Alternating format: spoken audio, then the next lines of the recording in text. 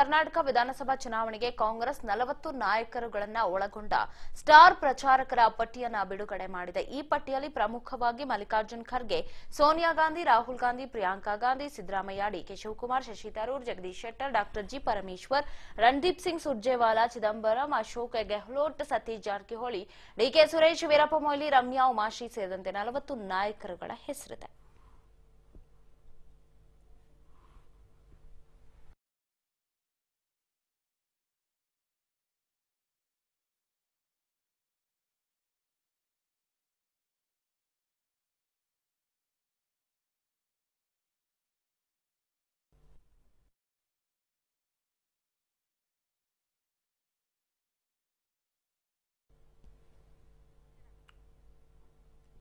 S, ಈಗಾಗಲೇ ಒಂದು ಕಡೆ ನಾಮಪತ್ರ ಭರಾಟೆ ಜೋರಾಗಿದೆ, ಮತ್ತೊಂದು ಕಡೆ ಪ್ರಚಾರದ ಅಬ್ಬರ ಕೂಡ ಈಗ ಜಾಸ್ತಿ ಆಗ್ತಾ ಇದೆ.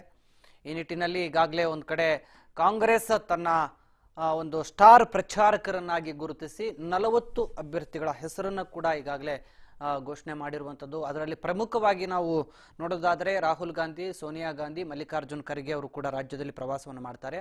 ಅವ್ರ ಜೊತೆಗೆ ಕೇಂದ್ರದ ಕೆಲ ಮಂತ್ರಿಗಳು ಕೂಡ ಕೇಂದ್ರದ ಕೆಲ ಸಂಸದರು ಕೂಡ ಈ ಒಂದು